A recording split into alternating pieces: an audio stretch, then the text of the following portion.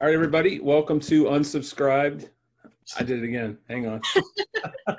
welcome to Unscripted Podcast, one on uh, one on one today with uh, my good friend and pretty much a member of our family, uh, Miss Cami Prantle. Uh, Cami, can you introduce yourself to the audience, and then uh, I'll I'll take over from there. How far do we want to go? What? How far on the introduction, like about me? We're recording. Do we have to start over? We got to start over because it's not unsubscribed. It's unscripted. No, I'll introduce you, and then you just tell them whatever you want. What do you mean? How far do we want to go? Like where I went to high school, like played in college, like how, how Well, I'm far? gonna- we- Yeah, I'm gonna I'm gonna ask all that. So just give them like, well, you told him it's me. Hi, it's me. yeah, but you know, can you say you're you can say you're the assistant softball coach, right? Yeah. And you work for the best boss in the world. yeah. Okay. All right. Let me start over. You don't have to say that. Let me start over. Hang on. Um, you know, your career, man, you can make all the money in the world, but if you're not fulfilled, and it sounds like you just said that, um, who cares? Because honestly, 10, mi- 10 exits down the road, it still looks like it did back there, and you're still not going to be happy. Um, but to wake up with purpose every day, it doesn't matter who you work for. I've had some great jobs and I've worked for some Mhm. really cool things. But if I wasn't fulfilled and if I felt like the purpose that I uh, thought I signed up for and what I got are not the same, then it wasn't worth it. And so I, you know, I, I've been called the king of restless and I've mentioned this on multiple podcasts, but yeah, uh, I don't know that I'm restless. I think I'm. I want to be fulfilled like you are. I want. I want to mean. I want my life to mean something. And like you said, I'm not guaranteed tomorrow morning.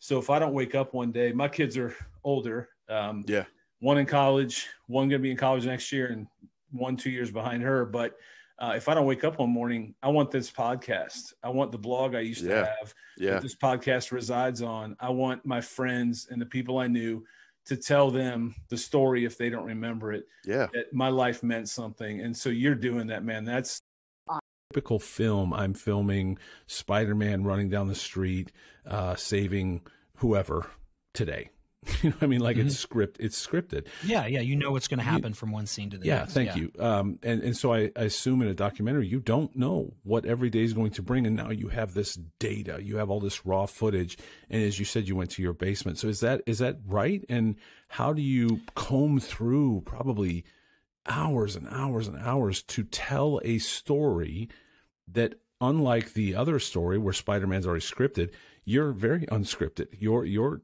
you know how do you Yeah, do that truly. that's fascinating to me Yeah, I mean, so I mean, from the start, I, I usually am attracted to film ideas that have at least a beginning, middle, and end that I can envision. right And so for this one, the the painting had to be finished, or it didn't, Right. but it had to have a beginning, middle, and end because of the process of completing the painting. Um, so I know that's really vague. no i think it's but perfect it, that's still that's still at least some sense of okay that that's something to hang a narrative on okay?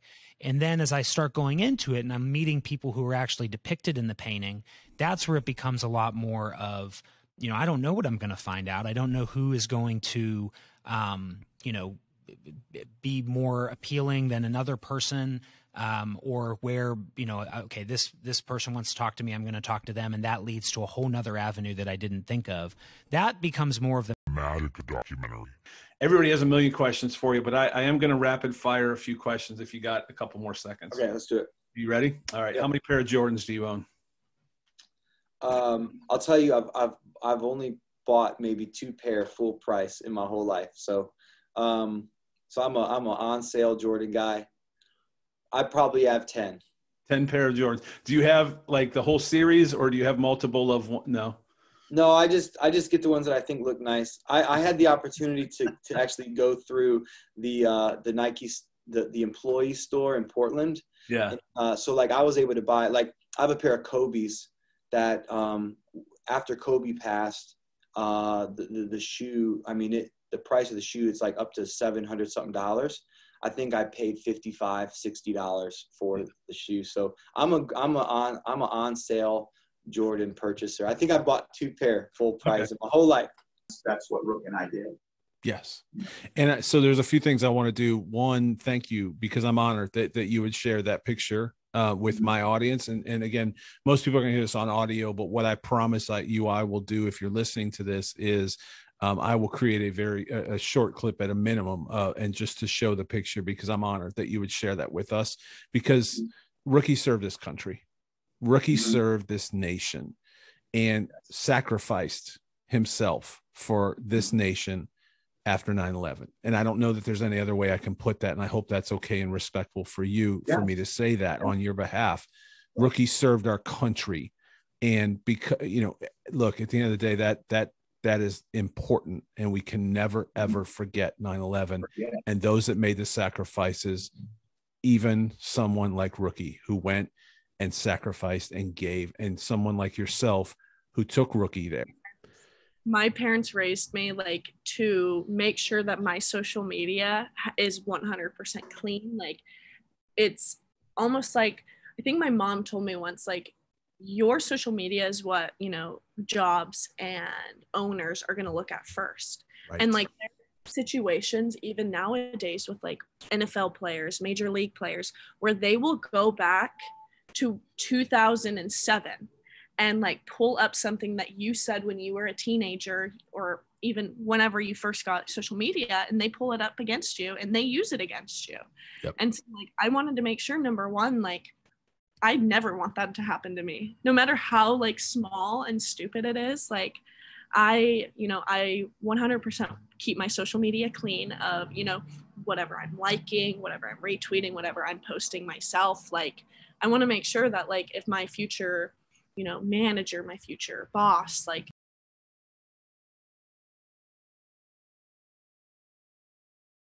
you decided to join me on this journey and I won't forget that. And um, there's others. There's so many other people that have joined us, uh, and I I can't uh, number one believe it, but number two, um, thank you all enough because, um, you know, it's a dream, it's a vision, and we all kind of jumped out of the plane without a parachute, but um, as we're descending, every now and then we get this little parachute and then a bigger parachute and a bigger parachute. And it's been so fun. And so I think the closing words I would say is that no, we, I don't make money on a podcast. I, I want to make sure people understand you don't make money on a podcast, uh, regardless of what YouTube videos say or other things uh, unless somebody wants to write us a big old check to be the title sponsor. And that's absolutely possible. By the way, email me, Aaron at mindscripted.com or Cami at mindscripted.com. but uh, I think our business um, and people like yourself and Nick and Jess and uh, Cooking with CJ, shout out Cooking with CJ because that's my dude, um, and Kelsey and uh, gosh, there's so many others. Um, uh, I feel like the list grows every day, but everyone that's kind of come together to say, let's do something bigger together. Um, quotes. Yeah, well, I, I, think especially for a dad with daughters, mm-hmm. I think we need to realize that the example we set, the words we use, the tone we use, uh, how we lead our family is pretty much going to be what they end up being attracted to in their home husband someday. Absolutely. That's a lot of pressure.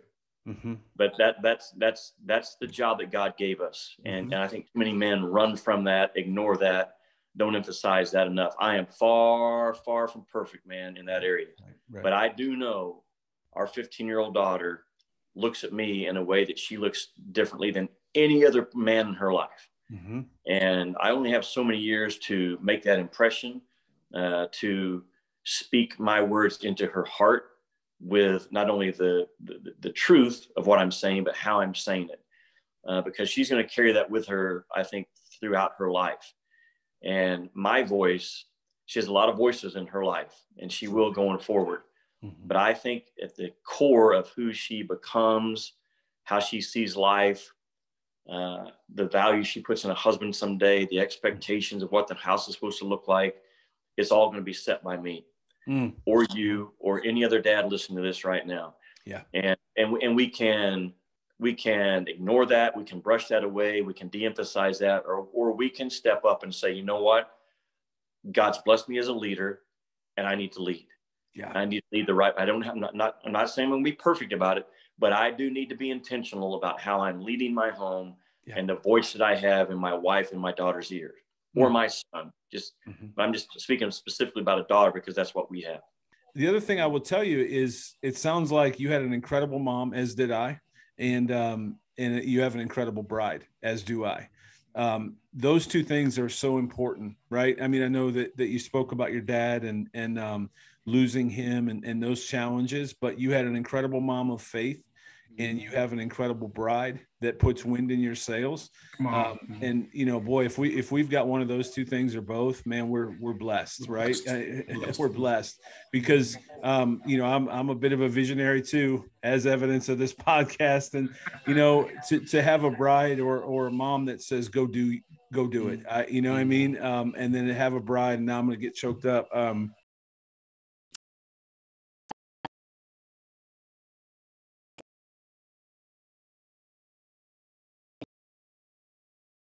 Um, I mean, closers get all the credit. Everybody knows that. Um, get the easiest job in the world.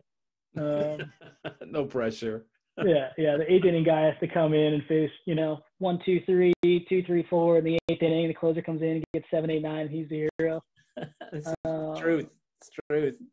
So I graduated thinking I was going to be single forever, and um, no, I, I we were in church. I was in church with my mom and dad in the, in the pew, and uh, um, this family walked in in front of us. This is gonna be in my book, not to plug my own book coming, but you know, we'll put it in the be, show notes. it'll be in the show notes. Uh, the future book will tell this full story. But anyway, uh, this family walked in in front of me, and uh, I saw a girl, and uh, I knew I was going to marry that girl one day. And now my start to cry. Didn't you kill me? No, no. No, no, impact that can actually make. But I heard a wise thing, I'd say just a few weeks ago, you know, seek less to be understood and seek more to understand. Right. And that's going to require one major thing, and that's asking better questions. Instead of just going, why did you do that? Or why do you feel like that? There are many deeper ways than just some you know it's just some close-ended questions. It's just getting getting you got to build a relationship you've got to get close you got to change your proximity and you have to be willing to get uncomfortable. If you're coming from the white lens which i do i come from a am caucasian as much as you can tell i am as white as they come although the students who call me mr g kind of argue that some days. Um, but like the idea that I've got to be willing to be uncomfortable, that I've got to go sit on a porch sometimes and help lean into some of the pain and say, I'm sorry. Um, and I'm with you in this. And the key always, no matter what, is when you start the journey, you've got to stay consistent. You got to keep showing up. You can't do this for a week. You can't just put a black box on your social media and think you just changed the world. Right? No one's listening to that. I love playing music it is a a source of joy in my life, but it is not the source of joy. Mm. You see what I mean? Yep. Uh, some something like that. If you make it the source of joy, it's going to let you down, and when it does, it, it ha, you know you give it the power to destroy you. You know. Right. Right. And maybe I'm maybe I'm jaded. Maybe I've been around Nashville too long, but I I, I just know that like, you know, it, th- this town will break your heart. Mm and has the power to, right? And so right. I, I'm grateful for what I do. I'm grateful that I work for an awesome boss and that we have a great team, you know, and absolutely, I love stepping on stage. I want to step on stage in front of 15,000 people again or yeah. more. Yeah. you know, and crank it up and feel, you know, feel that bass coming through those subs, rattling the whole stage and see the lights come up and the people screaming again. That's cool. Yeah. That's cool. It's not my source of joy. Mm.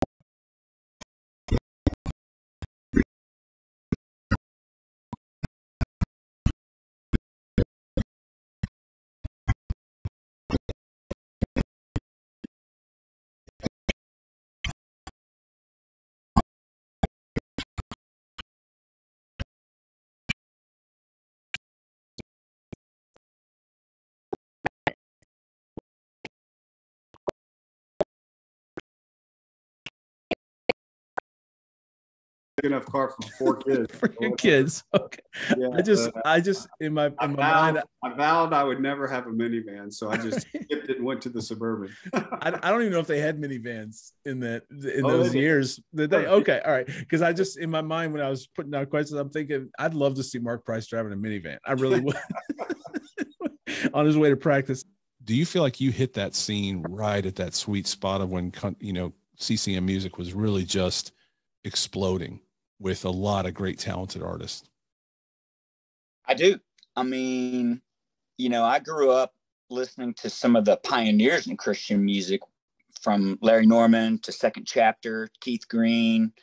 Um, but when I came on, it had really grown in popularity and, nationwide, you know, uh, fan base. And yes, I mean, the 90s were were great. You know, when you think about um, some of the big successes of Amy or Michael or Jars of Clay or you know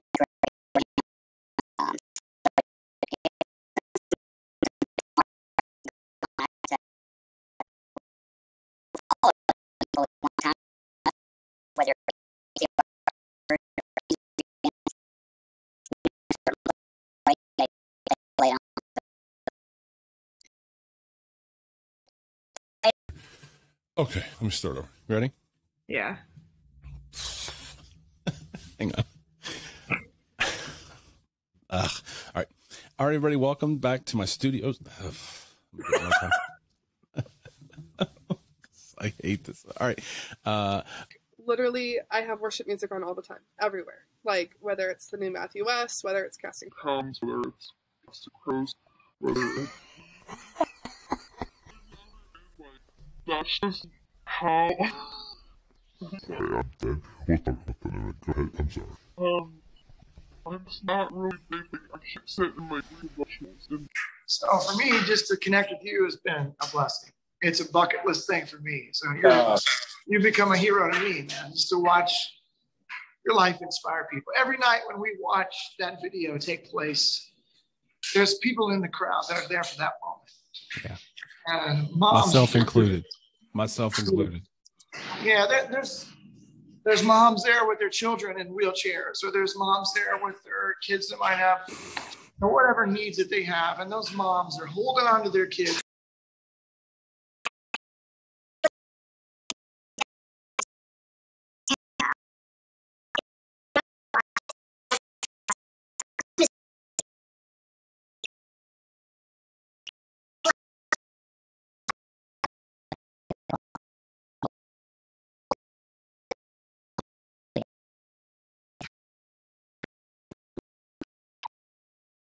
Do encourage your listeners that if they haven't lately, they need to share their story, and Right.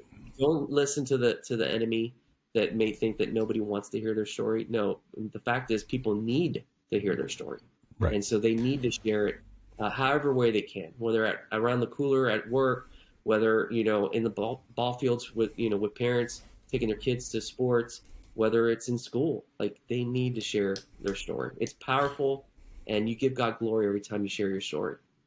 Well, and I, I have to share this with you guys as you're saying that. I have I have so many notes as you were talking. Um, one, uh, I want to piggyback right off of that point since it's it's the latest thing you said. Um, uh, and I think she'd be okay with me sharing this. I have a, a D1 athlete that shared asked me if she could use our platform to share her story of anxiety and depression and things like that this week. Uh, in two days, she has over a thousand views. And it's not about the, it's not about stats for Yeah. us. It's about a thousand people read the message. To your point, Yeah. uh, a thousand people. I don't know who they are, and anonymously they were able to go and read the story of someone else. So she's giving other people the gift of going second. From what you said, um, this is completely random, but welcome to Unscripted. Um, today's March 24th, and in 1984, a, a movie came out called The Breakfast Club, and today is March 24th, and that was the day. I'm sorry, I, I don't know when the movie came out, but I know that on March 24th, 1984, those kids were in um, what do they call it detention they they had to spend a saturday at they had to spend a saturday in detention the reason why i bring this up is because to your point Today is March 24th, and in March 24th, 1984, they wrote a letter that I that everybody's posting on social media today. And your point is this: that movie affected me as an in in 1980. That movie affected me to the point where, as soon as I see the letter that they wrote, "Sincerely yours, The Breakfast Club," I can't forget where I was when I saw the movie, who I was with, what that movie made me feel for not just that day, but the many years after, uh, as I realized a lot about myself from this movie. And I know this is really random, but your point is that I don't forget 1984, March 24th. To your point, the day we were saved, the day God called us, the day God spoke to us, the day, the day God pulled us out of the mud. Do we remember that as clearly as we remember March 24th, 1984? I heard a quote a few weeks ago that said, The God of your mountaintop is also the God of your valley. And man, that how powerful that is, right? Because we we like to celebrate the God of our mountaintop, you know, like God is good, God is good, and and yet I don't know that we always acknowledge that's the same God we're in the valley. You know what I mean? And and we wanna um we want to share our frustration with him when we're in the valley, but we don't always praise him when we're on the mountain. If something's going to be important to you on the last day of your life, you better make it important to you now. Can you talk about that? Well, just I would ask our listeners right now to just think quickly what's going to be important to you on the last day of your life? Right. Uh, it, it's probably not going to be uh, how, how, how well my uh, daughter did in dance. Mm-hmm. Okay. Um, those, those would be some good memories. Absolutely. But, but, but what's going to be important on your last day? Okay. Mm-hmm. Well, to me, it is, am I, am I right with the Lord? Mm. Am I, did I live my life in a way that I was called to, I was called to live? Mm-hmm. Uh, not that I was perfect, but, but did I keep God in the place in my life that he deserves to have? Absolutely. I think we're, I think most people are going to want to know that and have that piece about them. Mm-hmm. Uh, so that's something that you probably shouldn't wait till the last 30 minutes to figure out. Right. Um, how did I treat people? How did I treat people that, that God crossed my path over all those years? Absolutely. Uh, do I have a clean heart towards others? Mm-hmm. Uh, the relationship with uh, not only my wife or my or or my husband, but our, our kids, our family members. How did I lead them? How did I treat them? How did I teach them? Uh, all those things. What what did I do with my time in terms of investing with others, or did I live a life that was all about me? I think that's probably most one of the most important things when we get to the end and we look back is is what did I do with my life? Was it all about me, mm-hmm. or was it all about others? Uh, so are you a Johnny Gill guy? Is it because I, I, got a feeling you could probably do some Johnny Gill. I can do some Johnny Gill. Can you stand the rain? Is I mean, it's kind of the one that everybody. I mean, it's and that's not bad that everybody goes to that, but yeah, definitely, man. Probably Can You Stand the Rain? That'd probably be the only one that I think would give it justice if I said, you know, that would be the song. That, that, that would be the one. Be that that's the sure. one they play yeah. in the gas station. All right. So in a in a perfect storm of a world, I would love to be in that gas station when you sing "Can You Stand the Rain" with an unscripted T-shirt on while I'm buying a Diet Coke. Let's do it, dude. I mean, we got to make that happen, bro. All right, it, hey, it's on. It is on. It is lit. It's going to happen. I guarantee. Uh, all right, so getting more and more fun, huh? Like, these are getting more and more fun. Just you should like co-host one of these. It'd be a lot of fun. What? Oh, man. Sorry, Focus in, get the prayer thing going. Okay. Um, right. Um, I'm Gary Miracle. Um, I am uh, half a man. I have no arms or legs. And uh, that's how Aaron and I connected. He likes little people, so uh, we're friends now. that is All. All.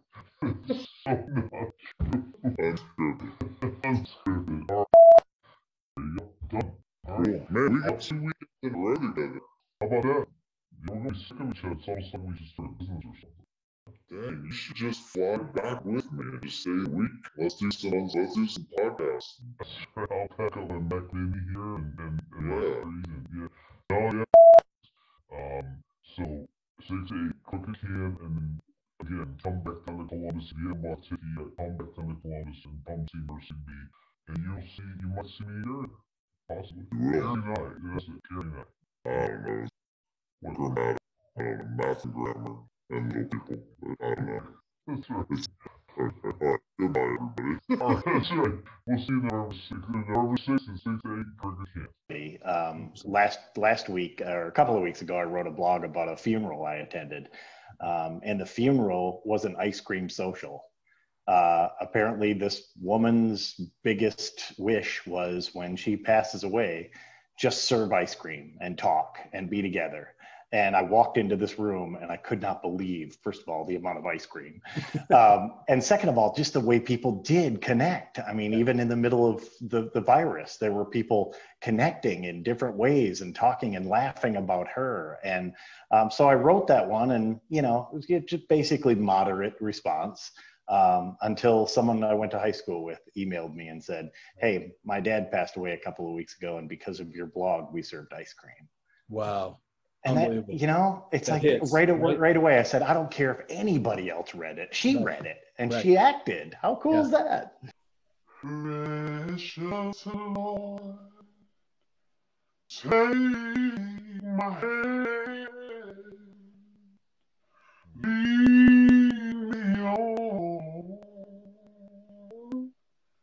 and let me stand.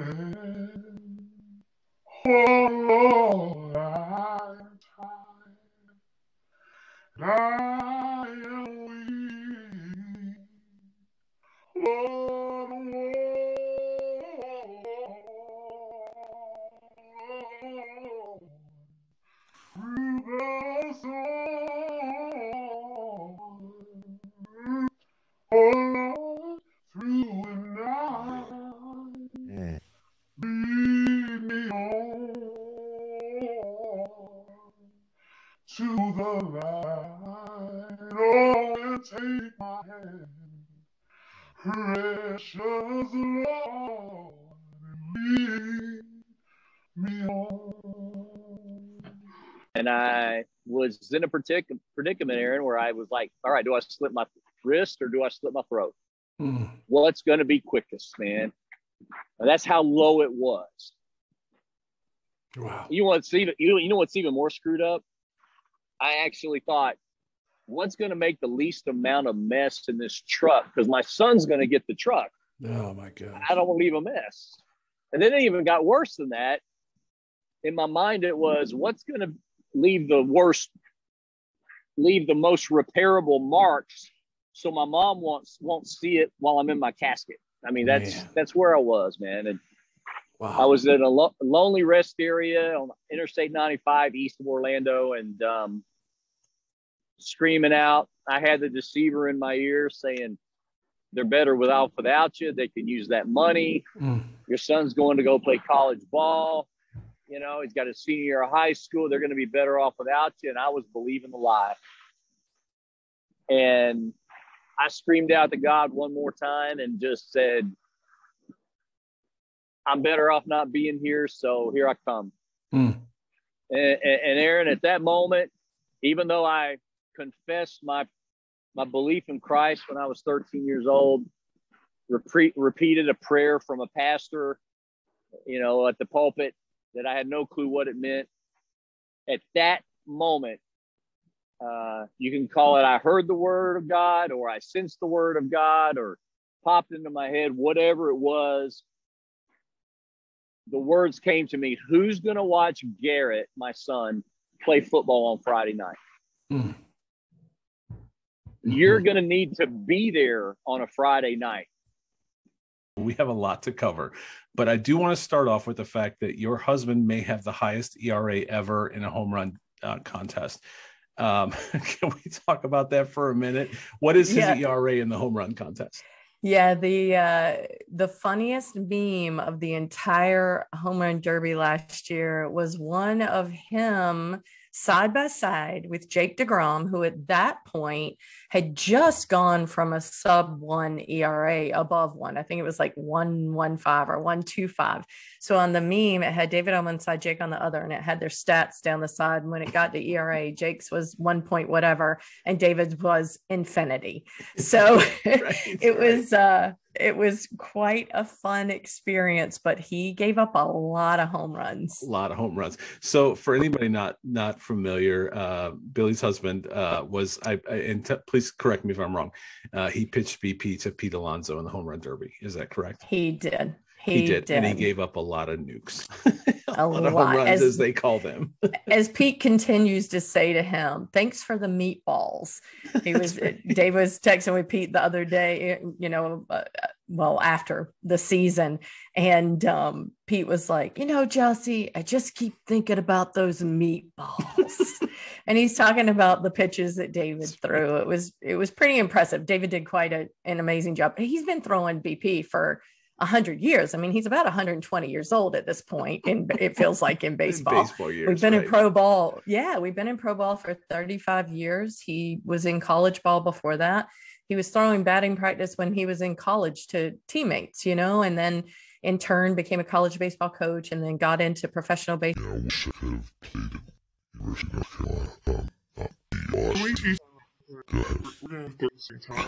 Quickly for our listeners here, you for. Aaron recently, if, if any of you all dedicated listeners, Aaron recently did an interview with a three-time Olympic gold medalist. Okay, so that just sets the stage. So Aaron's doing this interview. I'm listening, overviewing, like everything sounds great. Okay, so she's talking about her three Olympic gold medals, and Aaron just drops in, you know, I, I was an intramural champion once, but you know, like no, no big deal here. Just three-time Olympic gold medalist and world champion. Now, who, who's the winner here? Just saying. I mean, I'm proud of my intramural championships. Good for you. I worked hard for them. anyway, all right, 30 seconds. I'm not over. Uh, point. But uh, just speaking with Aaron so much today, a little bit about you, a little bit about unscripted, a little bit about you know his heart, and I think this world loves Aaron. You know, to the moon and back if they if they had an opportunity to meet him. And he's given people like me and he's giving you this opportunity to share this platform and to share your heart and share your story. And I just pray so hard for you right now that that you are just incredibly real with him. Um, I have seen firsthand how many people have reached out to me since the platform that Unscripted has given me. And I just pray that you take this opportunity because you have so much to offer. Thank you, thank you, thank you, thank you. Well, and I can't wait to DVR the episode on Shark Tank. oh my gosh. You know what? If we make it on Shark Tank, you will be of the first that I call. I mean, I'm going to call my mom first. there you go. There you go. All right, just give me an interview with Mark Cuban and we'll be good to go. So, no, I'm just kidding. I think this, I think this would be a good deal for Mark. Absolutely, absolutely. It'd be it'd be huge. Um, you know, so so it's just it's amazing to think about you know how God can use your yes mm-hmm. to truly and, and and always remember make sure your vision and your goal is big enough to create rooms for others to join you. Right. Oh, I love that. When you truly make you know uh, life lasting changes. Say that. Say that again. I really love that. That your No, bigger, your room, your your. dream. I'm gonna screw it up. You say it again. No, just to make sure your vision and your dream is big enough to create room for others to join you. Oh, and have long life lasting changes. That was a Uh, mic you know, drop moment, man. You know, you know but, but, but, but, it- I don't take criticism from anybody I would never take advice from. Mm, that's really I good. don't have any idea where I heard that from. Yeah. Um,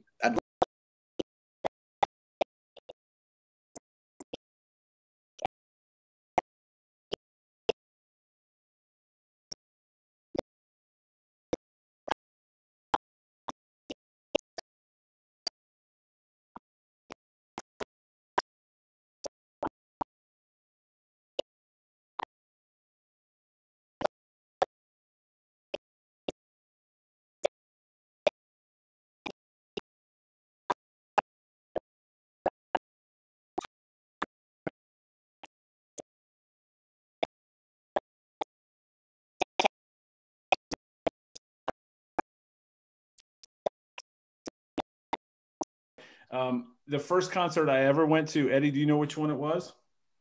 New Do you remember this? New edition. New Edition. Can No, you name it- the three Ed, groups that were at the New Edition concert? Were you at that show? New Edition, New Edition, UTFO, and the Fat Boys. No, it wasn't Fat Boys. It wasn't Fat Boys. Who was the No, third no, one? Wait, U, UTFO. It was the Fat Boys. No. No. Dude, were you at, the, at Front Row Theater? Billy's getting No, angry. Aaron, Aaron, yes, wait, Front Row Theater, right? It was. It wasn't. Eddie, do you remember who the third one was? I don't remember who the third one was. Roxanne, Roxanne Shante. It was my. It was my first concert. It was New Edition, UTFO, Yeah. Jesse Johnson Revue. Jesse Johnson. No, that was dude. Wait, wait, time out, dude. Time out. Time to freak out. That was a different tour then, man. Because I saw when we saw him, Ed. Ed, didn't you go with me to see him? Yeah, I did. It was New Edition, UTFO, and the Fat Boys. But I Remember that, don't- I don't remember that. Anyway, but I would have rather been at the freaking Jesse Johnson concert. Holy cow! So I for those listening that may not know, and I've be used this your for trivia questions Aaron, forever, here you go. Ah, I- we Aaron, lost Laura. jam. She's done. She's out. but Jesse Johnson, does anybody know who the heck Jesse Johnson is? Because I didn't know until that night. The time, bro. The time, the guitar, guitar player, player from the, the time. time. So when Morris Day says Jesse, Yeah. now Jerome, Yes. on that song, he's Of talking course. about Jesse Johnson. So, dude, How here's about the, that? here's, There's some history. so I Aaron, don't here is remember his the hit. song he played. I really don't. Aaron, Aaron, Aaron, I'm about to tell you. Here was this hit. I wanna be your man, baby. Oh, bonus oh, oh. material. Remember Is this gonna get me in some kind of violation if I put it out? Like, am I, gonna, am I